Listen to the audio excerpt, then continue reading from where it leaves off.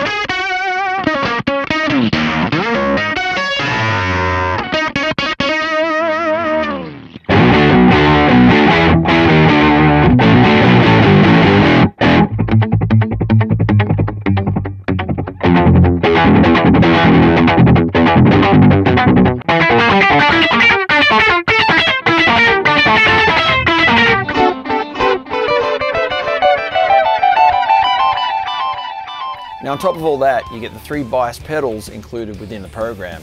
Distortion, delay, and modulation, which literally gives you thousands of new sounds. Plus you can get in there and tweak as much as you want. There's a great little recorder built in now as well, which you can either use as a looper or just to throw down some ideas when inspiration strikes.